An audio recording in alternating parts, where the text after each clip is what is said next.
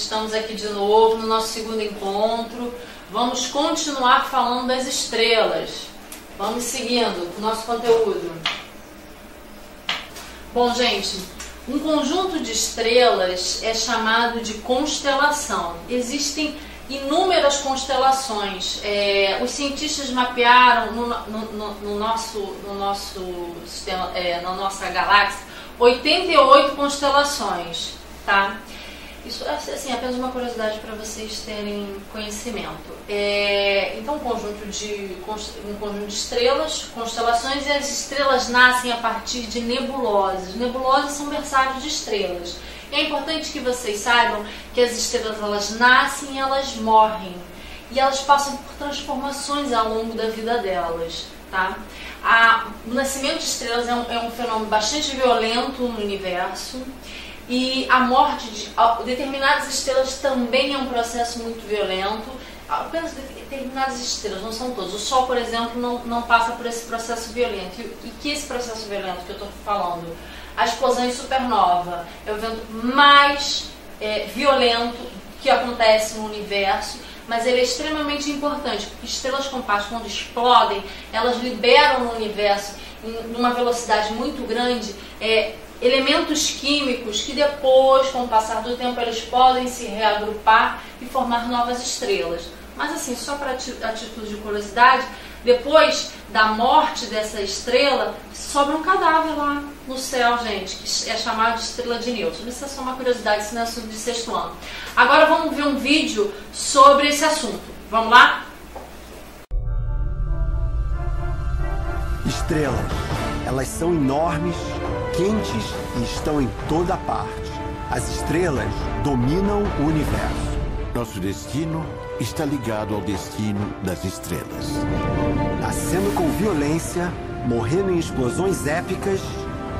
Vamos dar uma parada aqui, gente.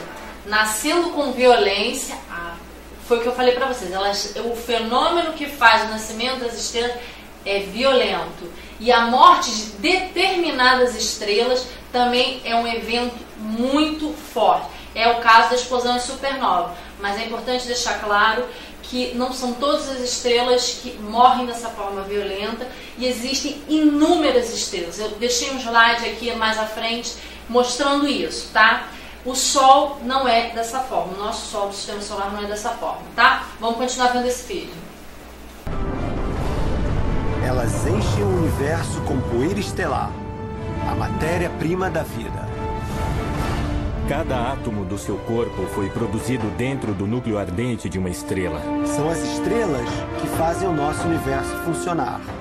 Toda a vida começa aqui.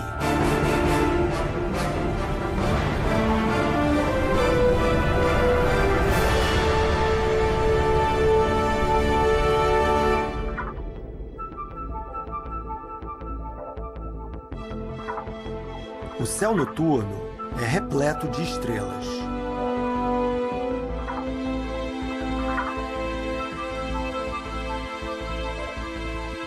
Numa noite clara, se der sorte, você vai ver umas 3 mil estrelas, mas isso é só a ponta de. Gente, vamos dar uma pausa aqui.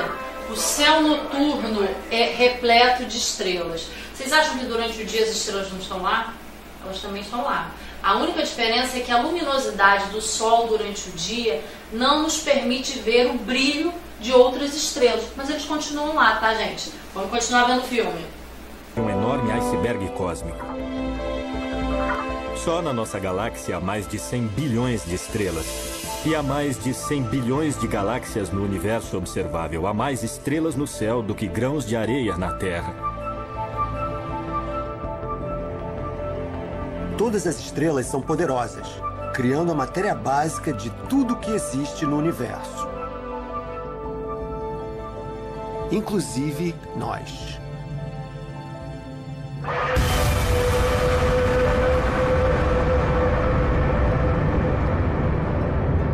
A maioria está tão distante que não sabemos quase nada sobre elas. Mas há uma estrela que está bem perto, e virtualmente tudo que sabemos sobre as estrelas aprendemos com esse vizinho. A luz solar que nos ilumina e nos aquece todos os dias não é nada senão luz estelar, porque o nosso Sol não é nada senão uma estrela como todas as outras. Mesmo visto da Terra, o Sol é tão poderoso que sua luz é capaz de nos cegar.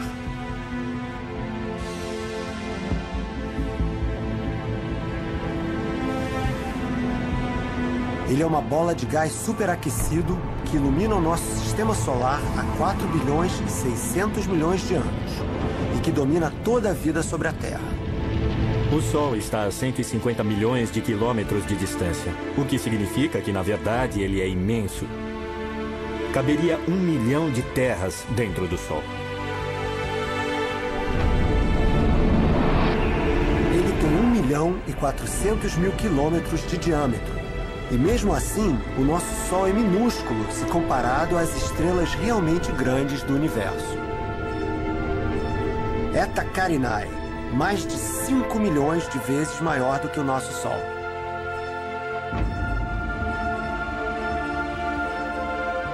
Betelgeuse, 300 vezes maior do que Eta Carinae. Se ele fosse o nosso Sol, encostaria em Júpiter. E ainda existe este monstro, VY Canis Majoris, a maior estrela. Gente, deu para ficar claro que existem estrelas de tamanhos diferentes, né? O Sol é considerado uma estrela média.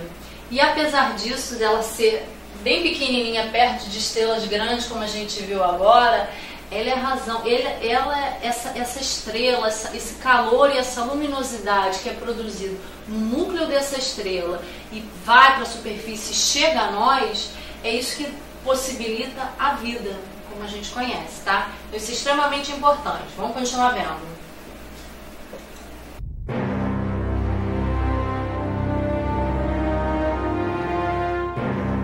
Estrelas emitem luzes de cores diferentes que vão do vermelho ao amarelo e ao azul.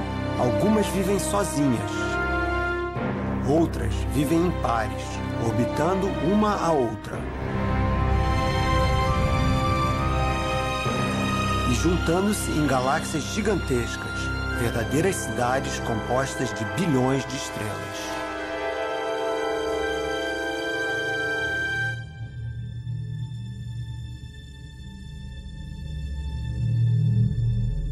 Cada estrela é única.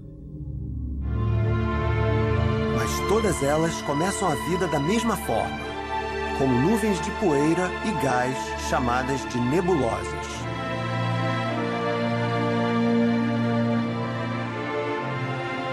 Com bilhões de quilômetros de extensão, elas flutuam pelo espaço, tomando formas espetaculares. A nebulosa da chama nebulosa da cabeça do cavalo. A nebulosa de Orion. Cada nebulosa é uma maternidade onde milhões de novas Gente, milhares de nebulosas, né? A gente viu no vídeo anterior o, como é que é por dentro da nebulosa de Orion que acabou de ser falado aqui nesse vídeo. É, o interior de uma nebulosa, pedaços desses nomes diferentes, é sempre a mesma coisa, tá? Que isso fique bastante claro. Vamos seguir estrelas nascem.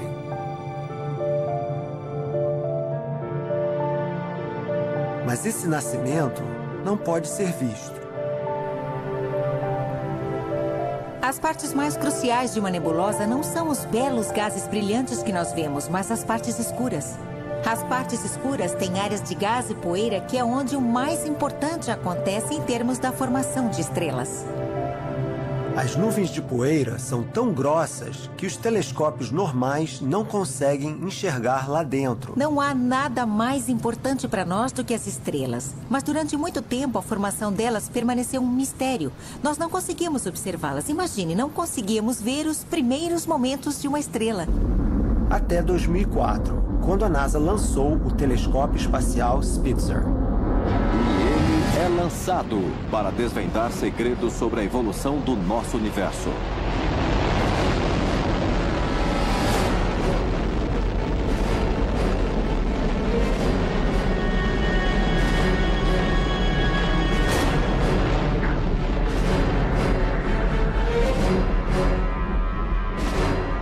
O Spitzer é um telescópio infravermelho. Ele só enxerga calor. O calor atravessa a grossa poeira das nebulosas, permitindo ao Spitzer ver novas estrelas nascendo em seu interior. Estas imagens incríveis captam os primeiros momentos da vida de uma estrela, quando bolsas de gás hidrogênio começam a se aquecer. Até as pequenas partículas de gás e poeira começam a brilhar. Áreas que estavam totalmente escuras agora ficam luminosas. Nós conseguimos ver os primeiros momentos da formação das estrelas.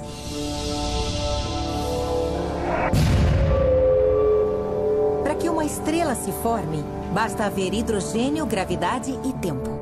A gravidade joga a poeira e o gás num redemoinho gigantesco. A gravidade une a matéria. Você aglutina a matéria e comprime coisas em espaços menores, elas necessariamente se aquecem. É uma lei da química. Se comprimir uma coisa, a temperatura sobe. Durante centenas de milhares de anos, a nuvem vai ficando mais densa e forma um disco giratório imenso, maior do que todo o nosso sistema solar.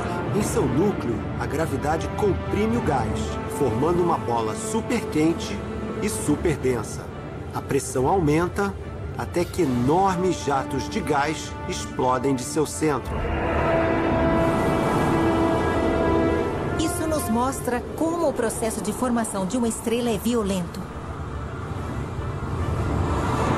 Esses jatos têm muitos anos-luz de comprimento. Algo literalmente acelera o material bem depressa, por distâncias inimagináveis.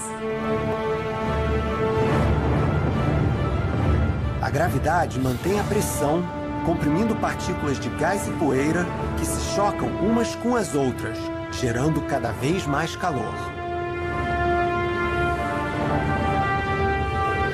Nos próximos 500 mil anos, a jovem estrela ficará menor, mais brilhante e mais quente.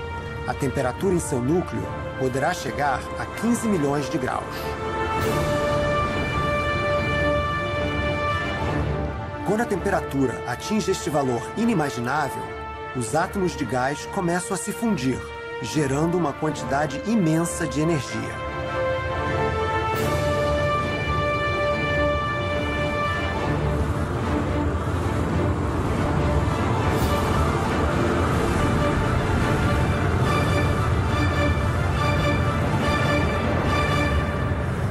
E dessa forma, nasce uma estrela.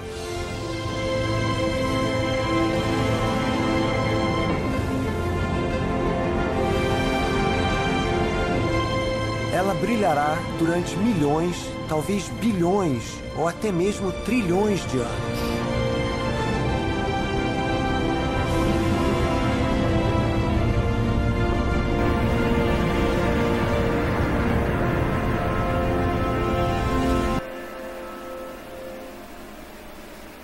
Nosso conteúdo de sexto ano vai até aqui.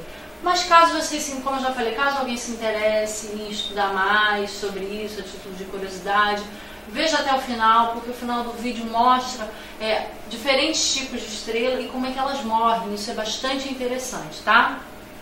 É isso.